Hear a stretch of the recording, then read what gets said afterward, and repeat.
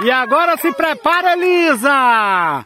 Pra bater pras meninas. Até agora tá 0 a 0 nos pênaltis. Menino de vó faz a sua reza ali pra pegar. E Elisa vai se preparando. Cobrou, Elisa! Opa, vai amarrar o sapato. Não.